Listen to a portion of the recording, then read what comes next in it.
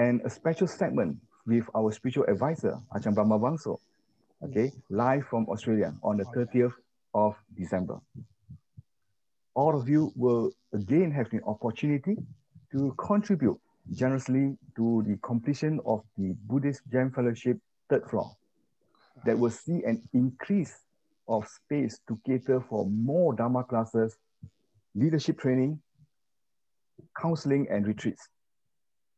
This expansion will enable us to grow in, uh, in growing people through our Dharma outreach activities, as well as uh, to inspire the future into acquiring the teachings of the Buddha.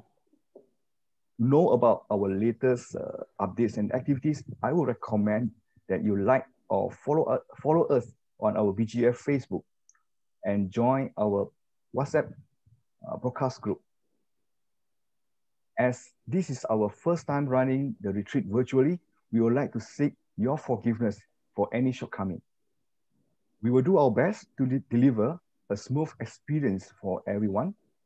Here, I would like to express my heartfelt appreciation to the organizing committees, the supporters, the donors, and those who have contributed directly or indirectly in organizing this retreat. I wish all of you have a good sitting throughout this retreat. Let us fold our palms together and send our positive thoughts and aspiration by the power of all the meritorious deeds accumulated. Let it be a condition for us to return to the new normal as soon as possible for the well-being and happiness of everyone. May the triple gems be with you always. Sadhu.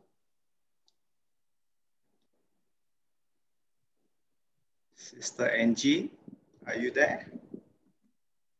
Uh, yes, I am. Can you okay. hear me? Okay, I'll invite Sister Angie from Bodhiyana, Singapore to say a few words. She's from, uh, she's now in Hyatt, is it? Good morning from Grand Hyatt, Singapore, with all um, about 30 retreatants have showed up here. So very good morning to uh, Ajahn Brahm and uh, all my friends uh, over in Malaysia, um, in Singapore on the virtual link, and also all over the world who have signed in. Uh, this is indeed a historic occasion where three organizations have come together to host Ajahn Brahm's retreat, made possible by COVID and Zoom. It wouldn't otherwise have happened. So there are many good things that have come out of this particular episode, although there are many losses that have been suffered by people uh, but there has been a realization of uh, how the world can still come together to work as one, and it needs to in this uh, unusual circumstances. Um, and the fact that we all can't travel have also given us um, or made us more aware of the place that we're living in and the relationships that we are building uh, otherwise may be taken for granted. So as uh, people who have known me, I'm not into pleasantries. Uh, Ajahn Brahm definitely knows that. So I'm going to say a few things which may be a little bit more provocative. One is that the wonderful thing about uh, meditation is to have this uh, knowledge of our own mind. Because this mind has such amazing ability to do so much good. The same mind has the same ability to also do so much damage and destruction.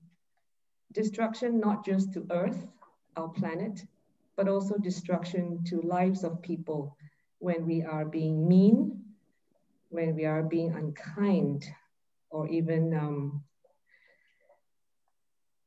causing much trauma to other people's minds.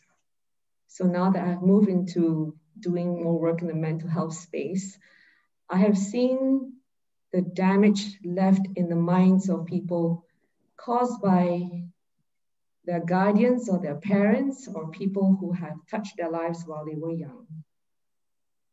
So the development of our mind to be kind, to be caring, to be compassionate and loving is a responsibility we have because it affects so many people that we engage with. While many people talk about being a Buddhist, I think it's more important that we live as one and not just carry the label. So often we come together in the presence of Ajahn Brahm and we all look very kind and holy. but when his presence is no longer around, and it is terrifying to see how Buddhists treat other Buddhists, let alone how Buddhists treat others. And through this journey that we're going through this retreat, I hope that we have the honesty to see our own mind for what it is and to change and train this mind for what it can become that will bring great benefits into the relationships that we have with people and to the world. And not live a life of pretense or with a mask while our mind internally is full of meanness. I have also said that when we practice the religion, it's not to put the mind away when we step into a holy place. That we really use our mind to question what we learn, we question what we hear, and to verify it because religion can make us stupid. We have seen this around the world, it's not just other religions, but it's also Buddhism. So the reason why I really like the way Ajahn Brahm teaches is because he welcomes challenges, he welcomes questions, and he doesn't expect to be just followed and believed. Otherwise, we would just end up stupid because of religion instead of being wise.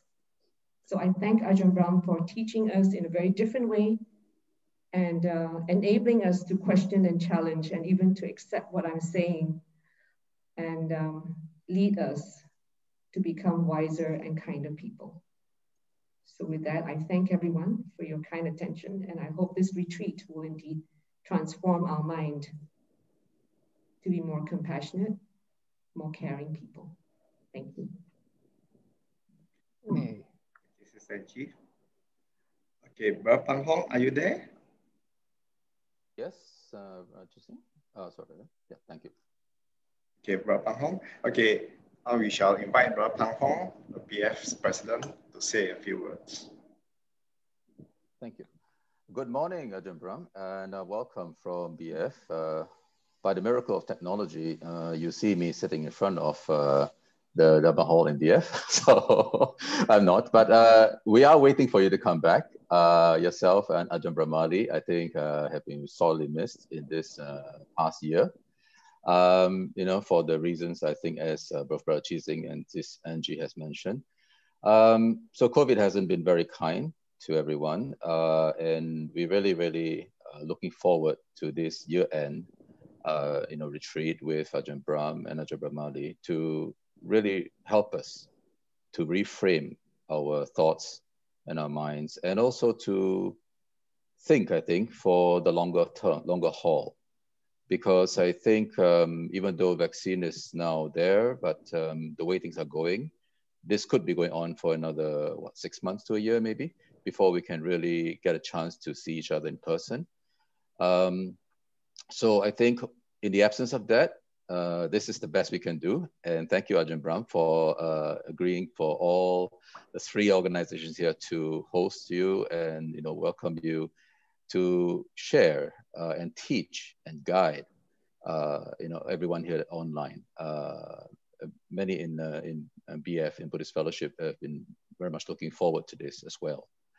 So I think um, other than that, uh, maybe just to mention that uh, since I'm standing in between all the group here and your wisdom, I will have to get out of the way. okay,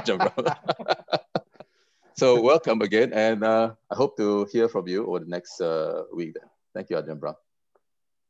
Excellent. Thank you very much, Brother Pang Hong.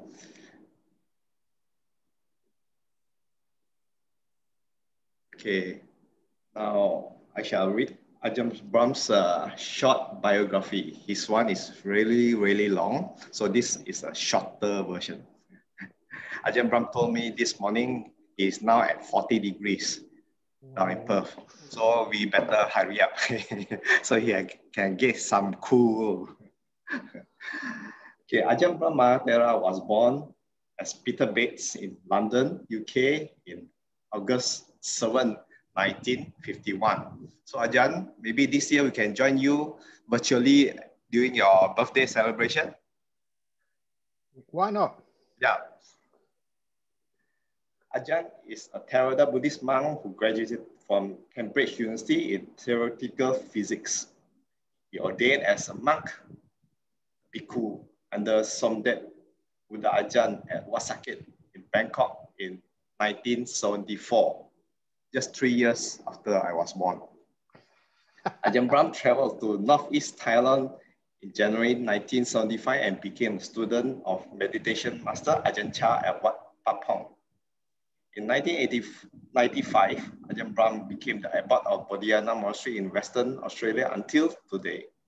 He is the spiritual advisor to numerous Buddhist organizations around the world, and BGF is proudly to be one of them. Some of Ajahn's bestsellers are Opening the Door of Your Heart, Good Bad Who Knows, Happiness Through Meditation, and Art of Disappearing. So that's all from me for now. I'll do my noble silence. I'll pass the floor to Ajahn. Over to you, Ajahn. You have the whole retreat. Yay. So thank you, everybody. And it's nice to hear the voices of a lot of my friends from overseas. You're still uh, happy and hopefully healthy. And even though that people keep on talking about COVID, that it's been very light here in Western Australia and very few cases. And lockdown for monks is beautiful. In lockdown, it's like going on a retreat. You don't have to do anything or go anywhere. So it's a shame in the sense the lockdown has ended for many people in Western Australia, starting to get some movement now. But even so, even though we've got off quite lightly here in Western Australia, still, sometimes I think that I may have it wrong here, but I think sometimes people emphasize COVID too much. Yes, it means we are limited. We have to look after our health and well being, but our mental health is also need to be looked after. And often, I, when I was listening to the introductory talks, you start thinking and remembering that story of the two bad bricks in the wall. And when my wall was made, I think all of you know that story by now when I first learned how to do bricklaying and I made two big mistakes and it spoiled the whole wall in my view. But then after three months, somebody saw that wall and they said it was a beautiful wall because they could see the 998 other good bricks. And it's the same with COVID. Yeah, some, some very bad bricks in that wall. There's some also beautiful bricks in the wall of human beings, governments, and life and sunsets and even just hot summer days like we have today. And if we just focus on the negative stuff in our life or in the life of the world, then of course we get negative as well. We tend to drink the negative potions of life, and that infects us. infects not our body with coronavirus, but affects our mind with you know, negativity. So we tend to see much more negative in life. But if one always remembers the good, beautiful stuff in life, the positive things which are happening, incredibly kind people and good people, then we can actually, yeah, we can still take note and take care and do the right things with coronavirus. We can always, you know, underneath our mask, we can always be smiling. Just in our hearts, we can always be, our eyes can be glistening, sparkling with the joy of meeting one another, even at a distance. And that means that we can add the happiness in life, which I am sure, I don't know how one could do the research, but I am sure that that happiness and the attitudes one has to the things which happen around us does increase our, immune response, does increase our ability to withstand the difficulties of life. And of course, one way of developing that positive attitude in life of course, there's many ways of uh, developing that positive attitude. Some people are just born just with positivity. And I, I found out that's usually because of their, their blood type. Because if someone has a blood type of B positive, then of course they're always going to be very positive minded. Please excuse me, that's an old joke. But what can you expect from Ajahn Brahm? Some things change. but my bad sense of humor doesn't change. So anyway, anyone here who's got B positive blood type, well done. You're already ahead of the game. But but anyway, if one hasn't got B positive blood type, one can still have that beautiful mind, which sees the good in things. And that's something which I have uh, found over all these years of teaching meditation to take people who are very negative and sometimes they've got good cause to be negative. Difficult things have happened to them in their life. And to take those negativity, that really quite intense suffering in life, and learn to see its meaning. Its meaning, why did this happen to me? Why did this happen to young children? Why? Why, why, why? And after a while, we see that these are the, the difficult tests we have in life, like going to school. I often say that I never liked the strict teachers I had in school. I was scared of them. But when I left school, I just learned from them so much. I, I grew so much from them. They pushed my boundaries, but I grew from that. And reflecting on that, I realized that some of the sufferings in life, when you know, my happiness, my peace is challenged, you welcome that because you know you grow so much more. And that growing in the Dharma is what we're here for. So we come to a, a session like this for six days, and we come here to grow, to learn, to exit this retreat as a better person, more wise, more experienced, more kind than where we started. So there's many things which I hope you'll be learning on this retreat. It's not just how to meditate, it's the attitudes behind meditation which make it really easy. I often say this to people because I like to confront people as well and to say things they, they don't expect to hear. Just like meditation is such an easy thing to do. For me, maybe, I've been doing this such a long time. But I can't see what the difficulty is in meditation. What it is doing is learning how to relax to the max, as one of my sayings goes, to relax to the max. So you're, you know, you're in a nice room, either in a temple or in a hotel, or you know, if it's a, a monastery or wherever you are, and you learn how to make that your little sanctuary. A sanctuary is a place of freedom, where you don't need to worry about anything in the whole world.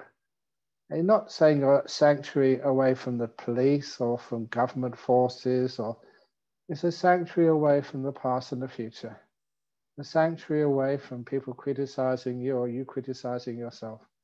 A sanctuary, a place of freedom. And just trying to understand what that word freedom really means. Because freedom isn't just, you know, you can freedom to do what you want. Because why do you want to do that? Sometimes all that wanting, all that will, all that doing something, that is what controls you. It's not freedom at all. You're always told by this voice inside of you, this is what you should do, this is what you should do, don't do this, do something else, come on.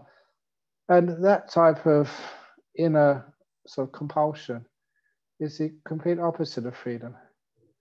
So you know what freedom is when you're sitting down, either in your hotel room or in a temple or in your own house, comfortably somewhere, and you feel so content, just happy to be here. You don't want to be anywhere else in the whole world.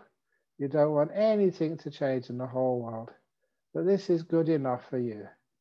And those moments of contentment, that is what meditation brings. It's not I want something more. What I have right now is not perfect, but it is good enough. Mentioned earlier uh, to uh, the, the host that you know it's a very very hot day in Australia today, one of the hottest days of the year, 40 degrees outside. right? And I was born in London. I like it cold, maybe about five degrees. That's about a good temperature. I like the chilly weather. About 40 degrees, whoa, that is so hot. But it's good enough. And of course, I've been telling everybody today, as I tell everybody whenever I go overseas, that there is such a thing called Buddhist climate control. And Buddhist climate control is very wise, very cost effective, and, and very comforting.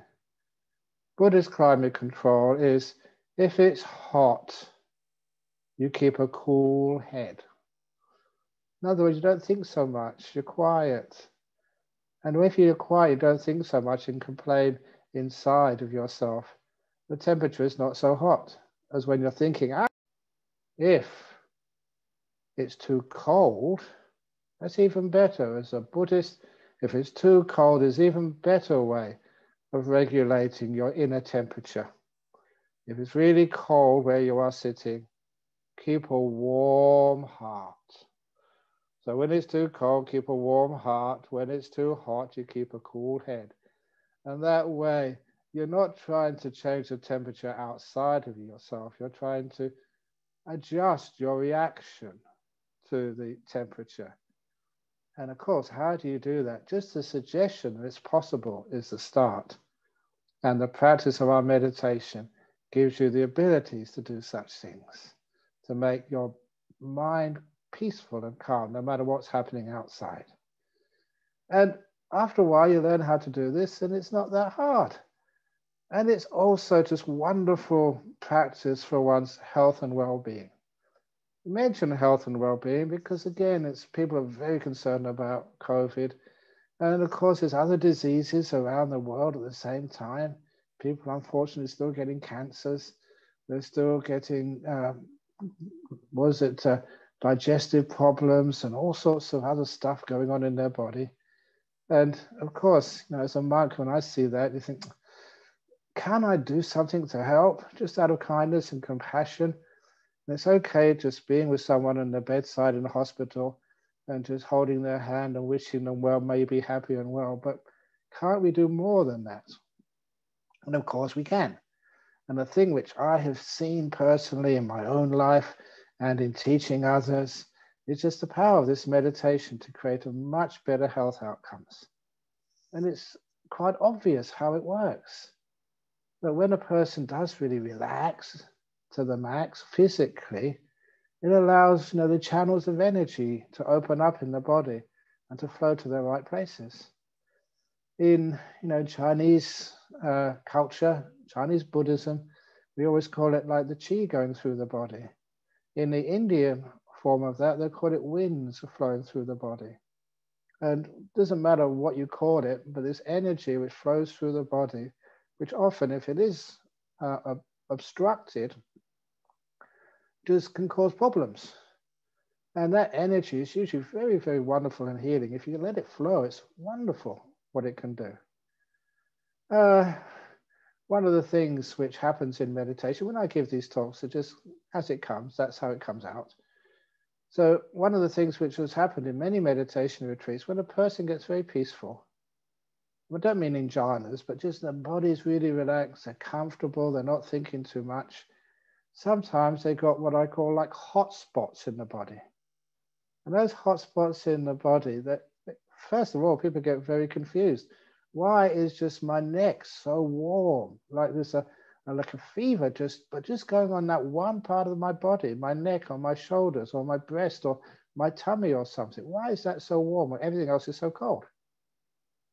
And of course, the answer is pretty obvious. There's some sickness in that part of the body.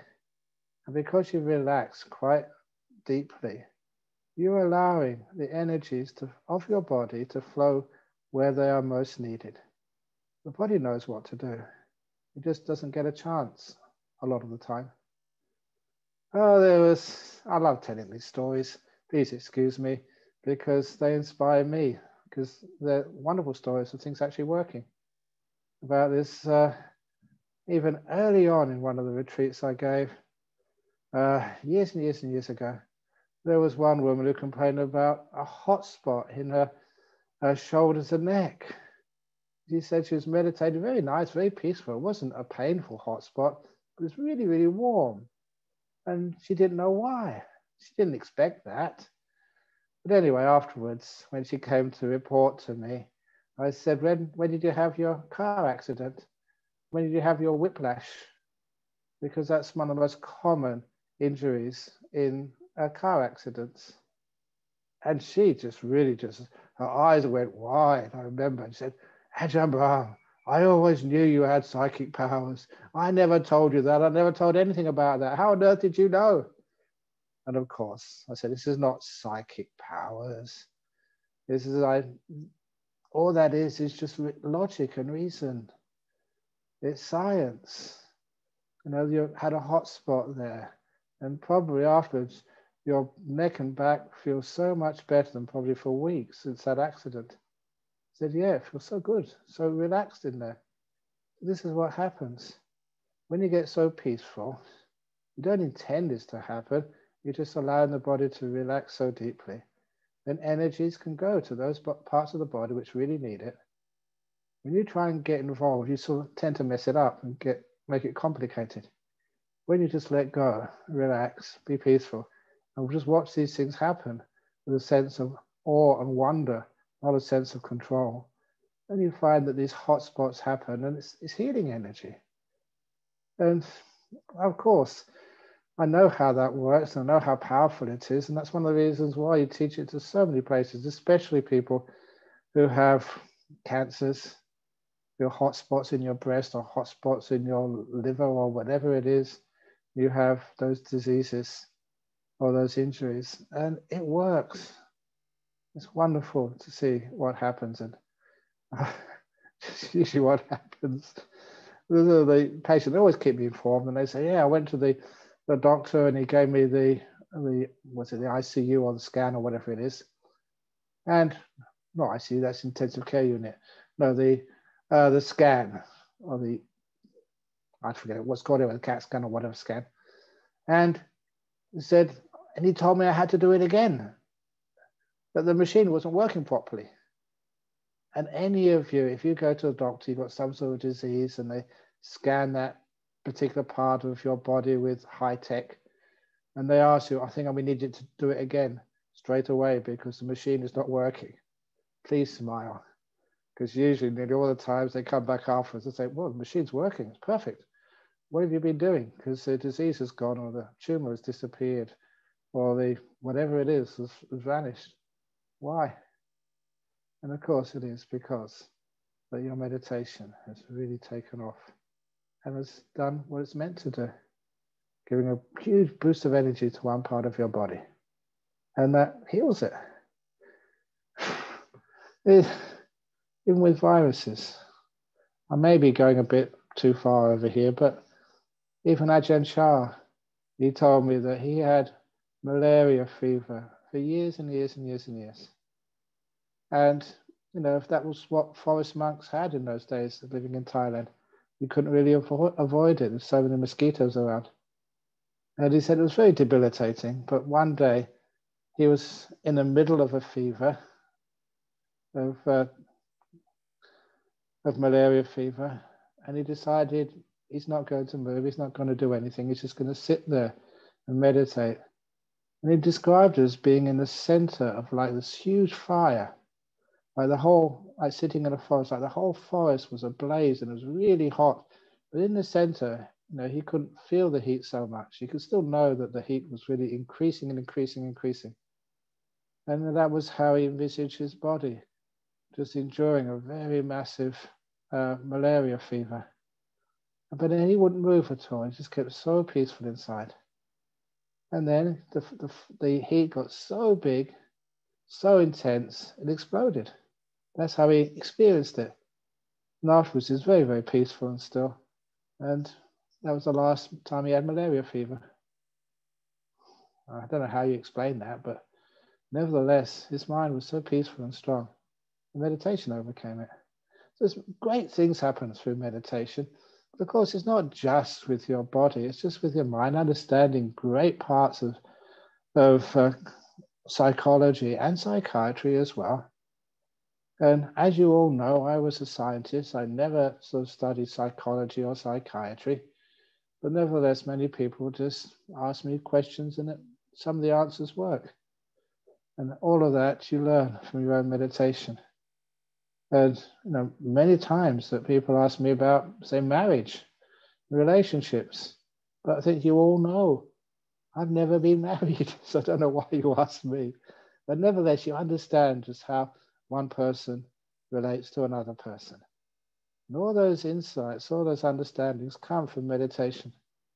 And even on a deep level, what really inspired me years ago was discovering that one of the colleagues, he was more senior to me at Cambridge University, and uh, Josephson, he was the only Welsh man who's uh, received the Nobel Prize in physics. And he got that great insight uh, into quantum tunneling at close to zero degrees Kelvin, absolute zero. And he got that great insight after he emerged from the meditation. And so that was gave him the innovation to actually get a Nobel Prize in physics. So that's really immense power of the mind which we can we can give to ourselves, no matter what area you are dealing with in this world. Um, dealing with stress, of course, knowing how to meditate, you can do so much work. There's more productivity and more peace. It's, it just works. There's so many times you see its benefits. So how we actually do this, simple thing, it's nice to close your eyes when you're meditating. The reason why we close our eyes when we're meditating is that it cuts off one sense. The, one of the strongest senses we have is sight. And we're always concerned with you know, people in the room coming and going. Before you close your eyes, though, whatever room you're sitting in right now, with your eyes open, just have a look. What do you see in the room or the hall or wherever it is you are sitting down right now? Too often, people see the things in the room the chairs, the people, the floor, the ceiling, what's on the walls, the doors, the windows, because we have trained ourselves to see things. But instead of seeing stuff, material stuff, see if you can see the space between things in the room. The great emptiness in what, first of all, you think is a very, very congested room. Because the space in rooms is always greater than the things in the room. And that space, that emptiness, is all it needs is someone to ask you to look at it, and it's there. The same when we go out to, to see and rather hear the silence between all the noise. The silence is there, but very often we haven't trained ourselves to actually to hear the silence. And then we can actually hear the quietness between our thoughts. Often people, they have the opinion they're always thinking. Now, all the time, 24 7, even when they're asleep, they're just thinking about something, dreaming or whatever. Because they haven't learned how to notice the space between the thoughts, like the space in the room we're in now. So, a lot of the meditation is learning how to change our perception of things and look at the space between your thoughts. Look at the peace between the noise. Look at the joy and happiness between the moments of suffering we have and looking for the, the minutes of health we have in our sicknesses. Things like that allow the mind to see the positive, the good bricks in the wall, which means we don't get so negative, which means we can live with uh, the things we have to deal with in life. And we don't always need to cure, get rid of the things which we are in, are annoying us, get rid of the people which are annoying us, get rid of the past, you know, which was very painful for us. We have these wonderful ways of dealing with almost everything. And if it's a very nasty thing we have to endure right now, we can just be with it. No, this is, we're learning, we're growing, we're making peace with things. And after a while, we learn in meditation, we can be at peace with almost anything. And that's literally with almost anything. So how we do this, please, when you start meditating, you close your eyes. And learning how to relax the body is not such a hard thing to do. And you know, you learn how to be aware of the parts of the body. One of the nice things about the body awareness part of meditation is, you know, the mind is something a little bit more distant to many people, and they can argue and philosophize what the mind actually is. But the body, you know, you know that much better than your mind. And you know how it feels. You've had injuries and you had diseases and bruises and all sorts of stuff on your body. So you've got to know the body over your lifetime so far with much greater clarity. And so you use that experience to know your body, parts of it. So we do that by starting the meditation by scanning the body. That's what it's usually called, scanning the body. And of course, the usual scanning of the body, people start from their head and they scan down to their feet. And being a rebellious person ever since I was young, and I make use of that rebelliousness to do something different if it works, if it's better. Not always doing the same.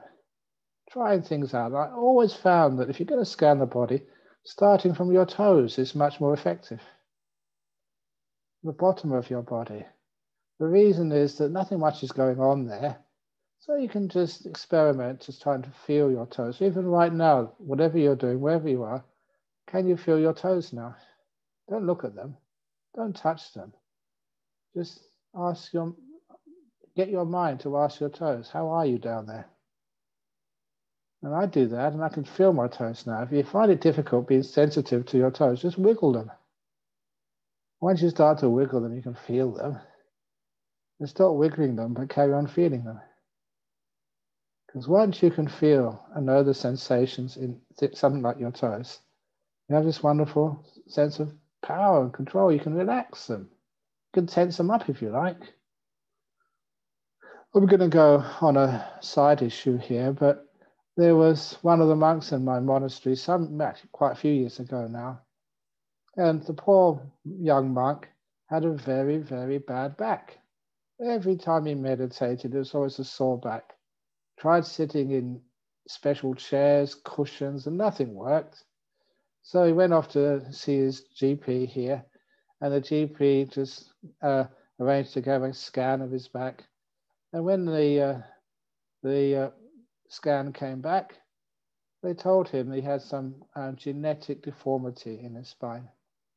And he said that he's always going to suffer when he sits without moving.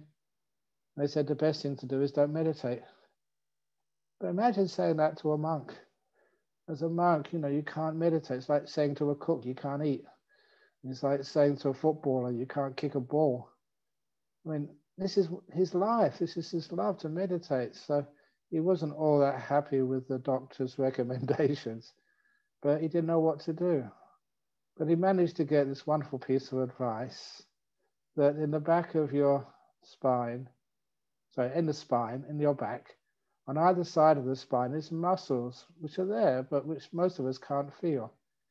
We don't feel them because we don't have to. Our brain is very efficient and only is sensitive to things it has to be sensitive to.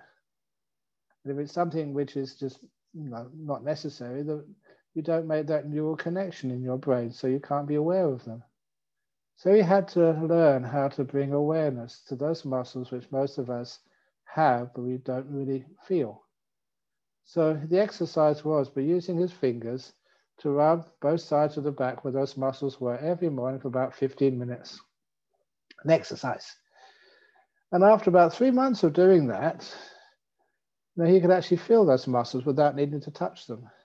In the same way that I can feel my, my hands, I can feel my feet. But he learned how to be sensitive to those muscles on either side of his spine. He was mindful of them. And the next thing he did was to exercise them.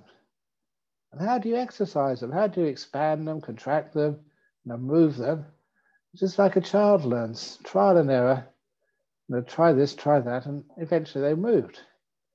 So he actually learned from the feedback which mindfulness gives you on how to exercise those two muscles on either side of the spine. It took him another three months or so.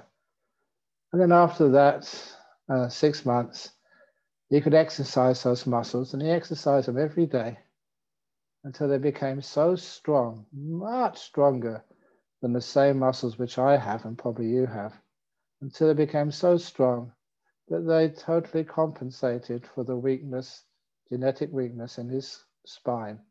And he could sit meditation without any problem anymore. And it was just one example of using that ability to be aware of your body and to be able to relax it, tighten it up if you need to, so exercise it, stretch it until such a time your body becomes excess, well, not excessively, but extraordinarily strong in that area. And you can use that to help your health and well-being. So I prefer going down to my feet, first of all, feeling those feet, really getting to know them at the beginning of meditation and basically just checking, are you okay down there? And as you know, you see me meditating in Singapore or in uh, Malaysia or wherever else you are in the world. I always prefer meditating cross-legged on the floor. But that's what I got used to over the, all these years. And my knees are still really, really good for a 69 year old. Actually, for even for a young person, the knees are pretty good. But know, when I teach a meditation retreat on Zoom, on uh, I've done some ones on Skype as well, that you have to sit in a chair. And I don't like sitting in chairs, but you have to. So I learned how to meditate on a chair. And it's so important for me to actually to check my legs when I'm sitting on a chair. I'm not used to sitting on chairs. To make sure that the feet aren't too far forward, aren't too far back, aren't too far apart. They feel good.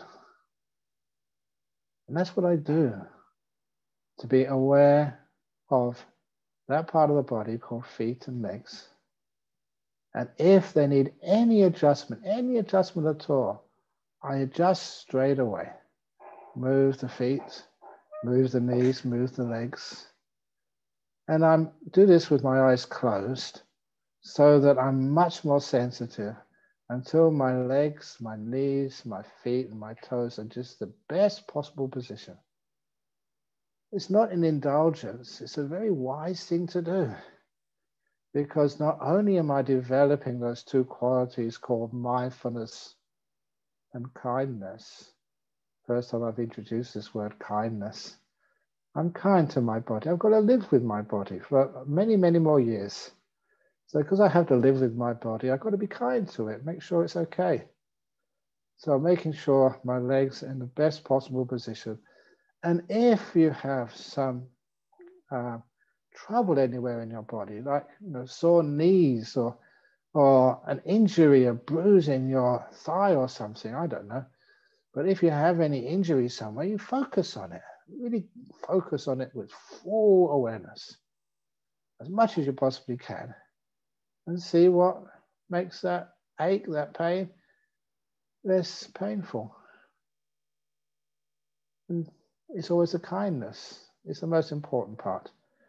Present moment awareness, so you're not worried about where this is going to lead to. Oh, I've got an ache in my knee. Oh, my knee's going to have to be replaced. Oh, I won't be able to do this. Oh, shut up all that negative proliferation in the future. It's right here, right now. Be kind to it just with your mind, you're wishing it all the very, very best. And whenever I see any of you, especially people I've known such a long time, it always gives me so much happiness. And I try and give that happiness back to you. A nice smile, a nice, just beautiful sort of thing. And to see you again. How are you? When you do that to me, it makes me feel relaxed. When I do that to you, I hope it makes you very relaxed. When you do that to yourself, say to your knee, it makes your knee relaxed. The power of kindness when it's focused in this moment is very intense, but peaceful, healing type of intensity. When I do that to any knee, I might have a little ache, I may have hit it somewhere today, I don't know. I give that kindness in this moment to my knee, and the whole knee just relaxes and feels at ease. This beautiful feeling of ease is what we're generating And as we bring up that sense of ease, ease is always delightful, it's pleasurable. You know what it's like having aches and pains in the body, you can't find the comfortable position, and it's just so irritating. But when you have the ability to relax your body, even just my feet become just delightful. And my legs delightful. It's just so relaxed. It's like you had a massage. Well, like I say, but I've never done it for uh, like being in a, I haven't done it ever, going in a jacuzzi. I know when I say I haven't been in a jacuzzi ever, please next time I come to Singapore or KL, don't arrange one for me, okay? I don't need a jacuzzi, but people go those things in order to again relax. Yeah, I can do that just sitting on a chair. If you want to do an experiment to see who gets more relaxed, Ajahn Brahm just sitting cross-legged on the floor or someone in a jacuzzi, I'm pretty sure that I'd probably beat them. However you can man- uh, measure relaxation. But anyway, relax your legs and relax my butt, relax my, now we get to the interesting point, the back and then the front of the back, the torso. There's so many organs in there. And that's your like, your, your uh, control, not control center, that's the workers, you know, your, your guts, your tummy, your digestive tract, you know, your liver, your kidneys, your, I don't know, your heart, stomach, lungs, whatever. That's really important organs in there which keep you going. And what I do, I always just scan through them. If I feel something which is not quite right, I pause. I don't try and locate what is this? Is this my liver or my kidney? I don't really care exactly what organ it is. I just feel it. Feel there is an ache there, or there's an imbalance, or there's even pain there. And I go right into it, center as into it as possible, as much as I possibly can. And allow the mindfulness to zoom in there, to feel it fully. And don't be afraid. And then when you go into it fully, you do it with this wonderful sense of kindness. There's a poor part of my body, like sometimes you might find an abandoned kitten somewhere, hasn't been fed and so afraid. And you just give it all this love and kindness. And until eventually you can ask that little kitten to come into your arms. Cuddle it, warm it, feed it, protect it, give it the feeling of safety. And that's what I do to, if it's my liver or my kidney or anything else in there which is not quite right, you invite it in. Come in, don't be afraid. As it comes in closer and closer in, you give it this wonderful sense of kindness and it relaxes and heals. And this is what you do to your own body. It's important for you so you can remain healthy and free from all these diseases. COVID again reminds us that diseases are there. So, how can we be proactive before they actually hit us? How can we strengthen our, our ability to heal ourselves? It's one of the things. There's beautiful mindfulness and kindness to be able to practice on your own body. And it really, really, really, really works. Okay, more examples. Oh, oh that time. Oh, this was many, many years ago now, when I was in, first time I went to Canberra, capital of Australia, which is also the coldest city of Australia. And I never thought at that time, I didn't do research, that any part of Australia could be that freezing. And so I went there and didn't have any sort of warm weather, sorry, cold weather clothing, no beanie or anything to wear on my bald head.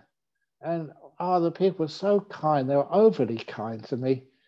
So they took me out everywhere, showed me all over Canberra the whole day. And I was exhausted. And because I you know, didn't have much rest at all, I didn't have any rest that day and I started getting a cold.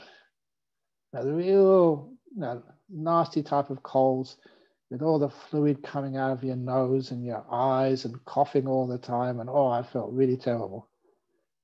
Which you know, normally most people go and take a rest and go to bed early or something, take a couple of Panadol or whatever and just uh, rest. But I didn't have that freedom. I was going to give a talk that night, and so many people had come I was at this temple. I couldn't let the monks down at this temple. So I started giving this talk. Not like the talk I'm giving now, because every wiping all this snot from my nose is very disgusting. And you can't give a talk like that. I was trying my best. But after half an hour, you could see that people were looking at the floor, they're turning around. They weren't paying any attention at all. Quite understandably. It was one of the worst talks I'd ever given. He couldn't because he had this blooming cold. So I asked people, I said, Oh, we were going to do a meditation. Let's do a meditation for half an hour. And so they thought, Yeah, good idea. So we did a meditation. Not a guided one, just quiet. And that sort of 20 minutes, half an hour, I could meditate well enough. I know how to do this. Really focus inside. Focus so much. And be kind to relax all the stuff which was creating this reaction. And then after half an hour, I gave an hour's talk. No sneezing, no coughing, no water running from my eyes. You know, these days it's such a long time ago. I wish that was uh, had been videoed because it would have been quite impressive. The a very big cold and half an hour meditation it was gone. Ooh, that's really really wonderful to see that happening inside yourself. You're not making it up. It works. No medications. Just not even a cup of tea. They didn't have tea. It was in a Vietnamese temple. They didn't have English tea. It had some, I think, green tea, but that didn't. No, no, it doesn't even have that. But anyway, didn't need it. So this is actually how the meditation can really work. So so far, I've given some instructions, but mostly right now, it has been like a marketing 45 minutes trying to sell the amazing uh, results when you learn how to meditate. It doesn't take that much. And just how you can get really peaceful, very healthy, and have a wonderful life. So, according to the program, it is supposed to be a little guided meditation. So, if it's okay with everybody, I'll do a guided meditation for 15 minutes. Is that okay? I can't hear you, so I assume it's okay. So before we do that, if you want to just get up and stretch, whatever you need to do. Ajahn Brahm, could we have a toilet break, please? Okay, yeah, a letting go break. I thought you'd actually yes, go when I was talking. Oh, you're very respectful. Very Thank good. you. Okay, five minute toilet break, break, and off you go. On your marks, get set, go.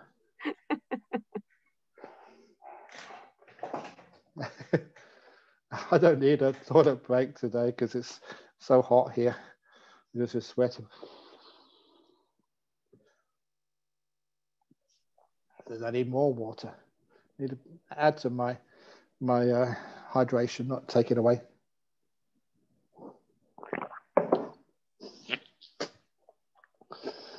Open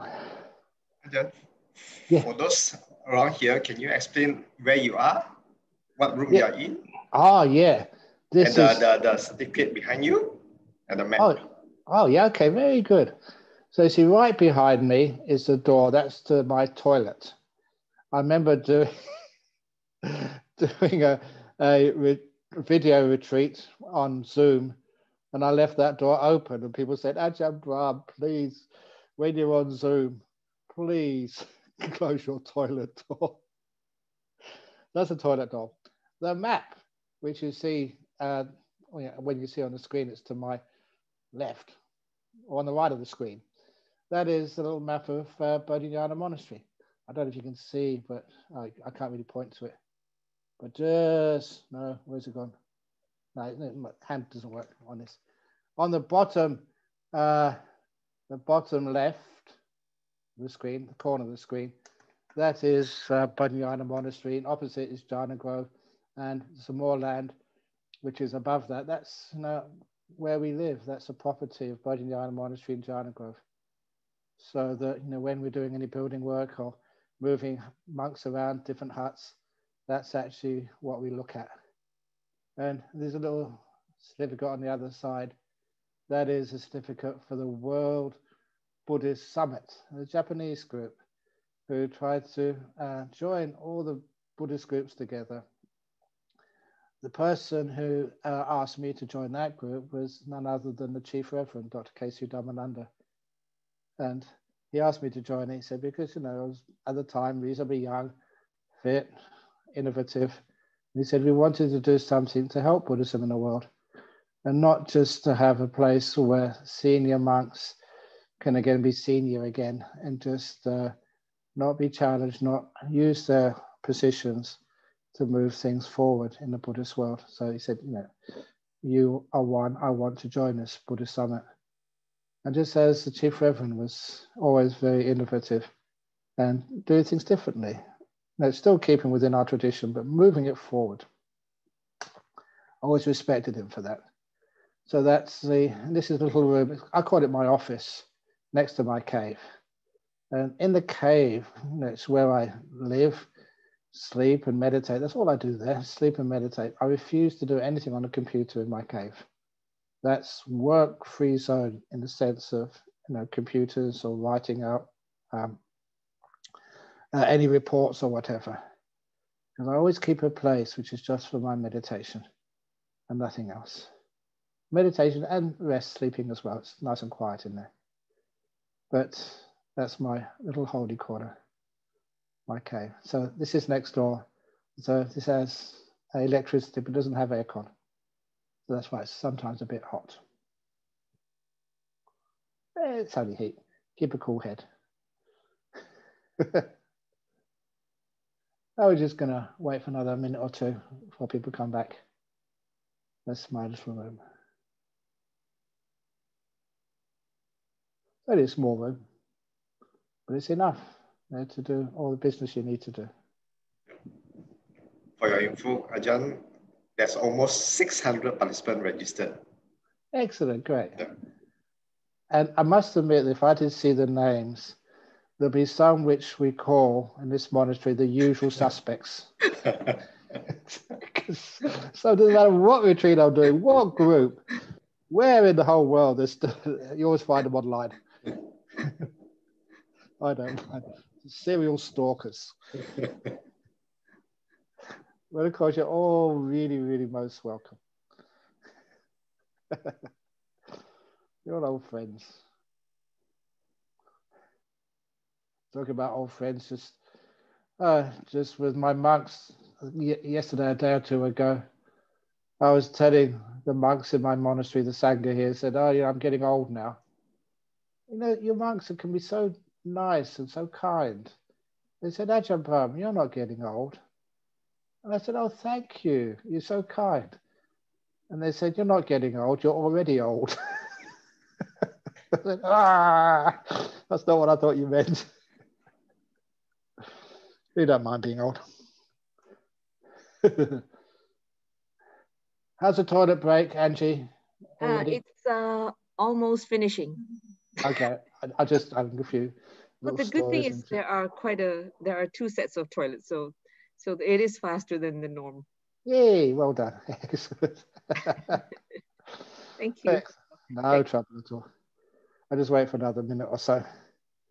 But so I think there will be no travel for you either next year, from the looks of things. No, there is. I'm going overseas in the second of January. Where are you going? To Tasmania? Close, Melbourne. That's not from, what, from Perth to Melbourne, you have to go over the Australian Bight. That's over land. Oh, it's over the Bight. The Bight is the ocean. The fastest way, a little curve, and it goes uh, over the sea, just past Norseman, and then comes back again around Adelaide, back to land. That's a bit stretching it. Oh, I... We're supposed to do stretching. That's part of the retreat. We have a stretching time. So I can't do too much physical stretching. So sometimes I just stretch the speech. But that it's not lying. It's still overseas. Okay. Okay. Have you put on weight or have you lost some weight? Um, I have gained gravitas the older I get. It's over Zoom, we can't tell. Exactly. Yes, that's why I like retreats in Zoom. we miss feeding you, Ajahn. miss feeding. I don't think my tummy does. Otherwise, I get fatter and fatter and fatter and fatter and fatter and fatter. No, I'm That's just, one of our joys. Well, yes, well, you know, I've got to be kind and just accepting and let things be and don't measure things like weight. I tell people I just I just do watch my weight. I watch it. I don't do anything about it, but I do watch it. okay. okay, let's get out of trouble and start meditating before someone asks me some even more challenging questions. we start, we can start again now over here. Thank you. Eileen, on your side is okay? Oh, she's dropped out. Eileen. Um, must uh, be, okay, no response. So we go ahead, we go ahead. probably already meditated, probably already in jhanas. Okay, it's only going to be a 15 minute one, a very short one because I have to go down. they reminded me to get fed. Feeding time in half an hour. So close your eyes. With your eyes closed. What actually, what I will do is I will lead it and then I'll let you know when I'm disappearing, when I'm just going out. But is it okay if I just let one of you just close off? Do you want to close off at 10.30 or when do you want to close off? or just carry on. I'll leave it up to you anyway. So close your eyes. Remember, this is meditation time. Not to do anything else in the whole world. It's a time you set aside. It's not a time to figure out all the problems you have in life or to figure out how you can get back at that terrible person who hurt you. It's a time just to be in the present moment, just now.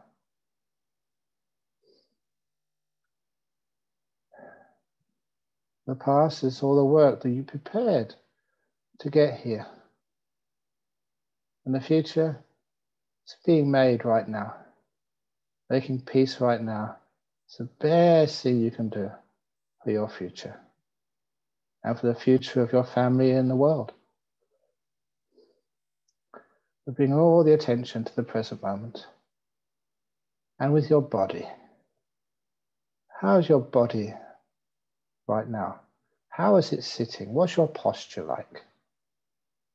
If you're sitting on a chair like I am, are your soles of your feet flat on the floor or are you know, they sort of lifted up, the heel lifted up and just the balls of the feet on the floor?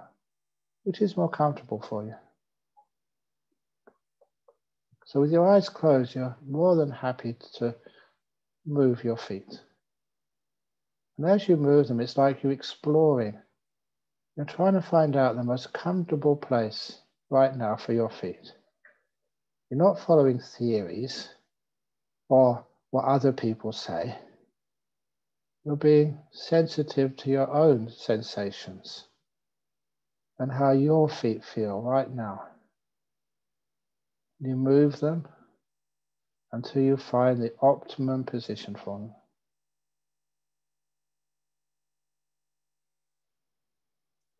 How far apart are your feet? Do you want to bring them closer together move them further apart? What works for you? It is quite important that you do do that fidgeting. You don't just assume this is the best. Because when you do move, you do get feedback. It becomes interesting. You find out what is the most comfortable position for your feet. Too often in religion, in Buddhism, meditation, with too many assumptions. And now we're actually finding out the truth for ourselves. How do your feet feel? I'm still adjusting mine until I find, yeah, that's nice. Actually, it's jolly nice. And then I move up my legs, my calves of my legs, and nothing much happening there, but still, I just pause to make sure they're okay. Then to my healthy knees, making sure that they are comfortable. The knees have a lot of tension in them, so even just wishing them well, dear knees, you just work so hard for me. May you be happy and well and peaceful and pain free. And when I send loving kindness to my own needs, as much loving kindness and care, compassion, well wishing as I can generate. I don't know, I don't think I'm imagining it. They feel much better. It's just like they say back to me, thank you. You're fine, but it's really nice to be noticed from time to time. That allows me to move past my knees, up my thighs. Nothing much happening there. Into my, my butt. There's always something happening in my butt because maybe too much weight in my tummy. I don't know. But I just feel the pressure on my, my buttocks on the, the chair. And if I need to adjust, I will, and I'm going to. Just adjust my buttocks so they are more comfortable. That's good.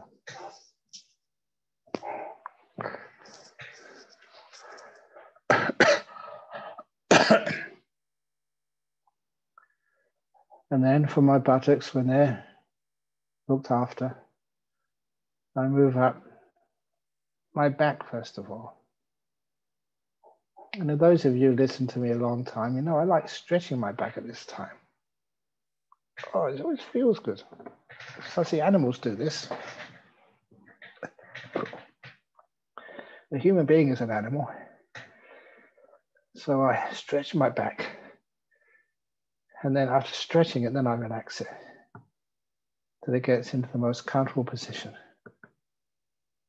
And then I look at the front of my torso check my digestive system. I had a little bit of a breakfast this morning. Maybe happy and well. Tummy, intestines, colon. I feel sensations in there. Relax a whole lot. And as I scan my attention upwards, I don't know what the organs are, but they're all pretty comfortable down there today. If you do have any problems in any of those organs, just pause there. Pause and give as much well wishing and kindness as you possibly can. My liver, my kidneys, my spleen. You work 24 hours every day. Thank you. Give this appreciation, after appreciation, kindness to all these parts of the body which work so hard. Are you saying thank you? Even that creates a feeling of joy, delight in those parts of the body. It's like the workers, you know, who work for you. You just say thank you, thank you, thank you, thank you. I really appreciate what you're doing. That makes them feel happy. And I use that simile for parts of my body. You go up to the, your lungs. And my lungs just been working 69 years, day in, day out. Never let me down once. So, so much gratitude. And that makes my lungs relax. Yeah, he's noticed us. my heart.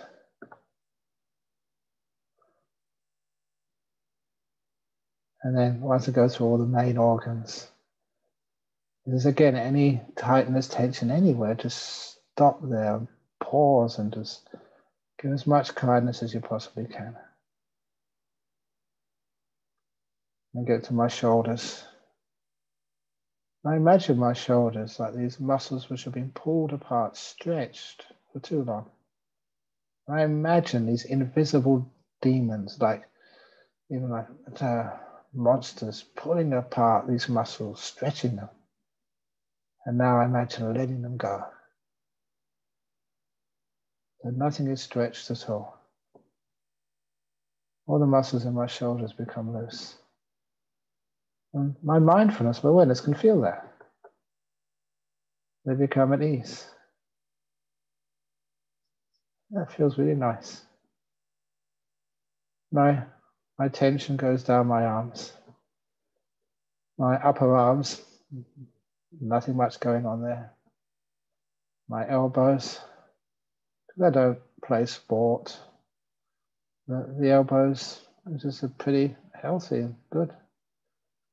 Maybe I was building when I was young, maybe made them a bit stiff, but they're really good now. If you want to pause there, just learn how to relax. It's amazing what you can relax in your body once you have awareness of it. The mindfulness will give you the clues on what relaxation is and what tightness is. You learn how to move from one to the other. Trial and error first. You're courageous enough to give it a try and see what happens. And then I go down to the wrists and my, my hands. Now, if I wasn't really following this method, I wouldn't have noticed my hands are just not in a good posture at all. Fingers are all over the place. So I'm now going to move my hands and fingers to a nice comfortable position. That feels good. The awareness, it serves the, the role of letting you know what's going on and also learning how to make it better. You don't know what's going on, you don't know what makes it worse, what makes it better. But the awareness just on something as simple as your hands, you can feel just how to relax them, make them feel really at ease. Later, of course, we use that on our mind. We get to know how our mind feels how to make it better, what makes it worse. Same we do on the body. Do it the body first because it's easier to do. And then I go back to up to my shoulders, making sure they're still relaxed to my neck. And then making sure the head on top of the neck is just well balanced. I usually move it left and right, forward and back until I find its optimum position. I, as I'm moving and I'm mindful, aware of my neck and how it feels until my neck decides what position my head will be. Nicely balanced. Then I go to the front of my face and become aware of the feelings around the eyes and the nose and the forehead. Now, one of the first times I went to Malaysia, many of the meditators there were complaining about samadhi headache. And I was, I was shocked. Never heard that before. That's because they weren't at all aware of the muscles around their face and they were trying so hard. Samadhi headache is not necessary. So check the muscles on your forehead, around the eyes, around the mouth. Relax them all. Get them really loose and at ease. And of course, you all know that the muscles in the face, the way they are configured, often relates to the stress, the fear, the anxiety, the disappointment in your mind. It's like the state of mind is played out on your face. So if you relax your muscles of your face, you're also relaxing your emotions. And a little smile on the face, a little smile, is the best posture you can have.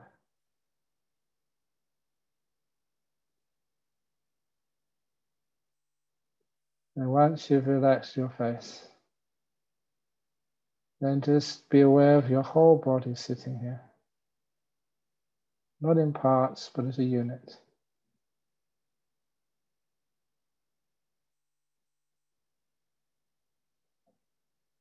And If there's any parts which are still a bit tight, which need relaxing, please focus on them.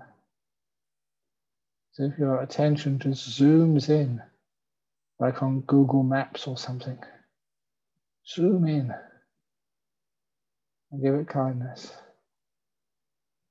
After a while, we learn how to relax our body. how to even heal pain. Try this, we try that. And mindfulness is always watching and finds out what works for us. So how you relax a cold or a tumor or an injury. Very simple insights into how to maintain a healthy body.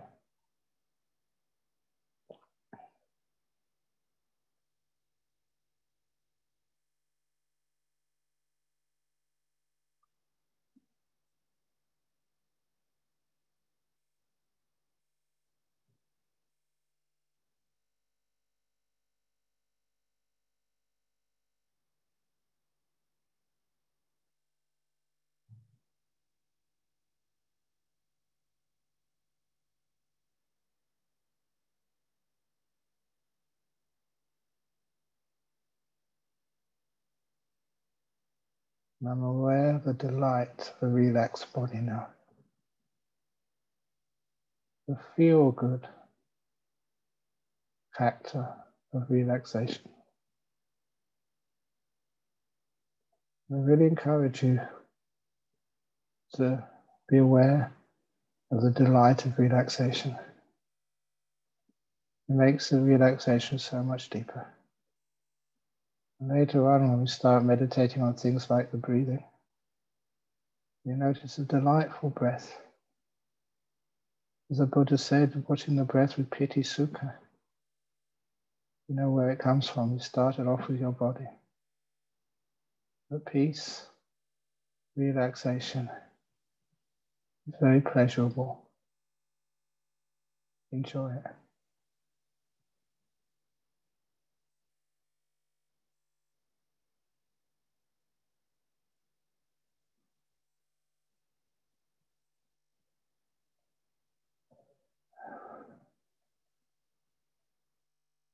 I have to sign off now. Other duties to do. Lots of people coming to monastery today. It's supposed to be down in five minutes. So those of you who want to carry on meditating, please do so. Those it's time for you to, to stop for the next part of the program, please do. It's now 25 past 10. I wish you all happiness and well-being. And I'll, I'll, personally, I'll see you this evening.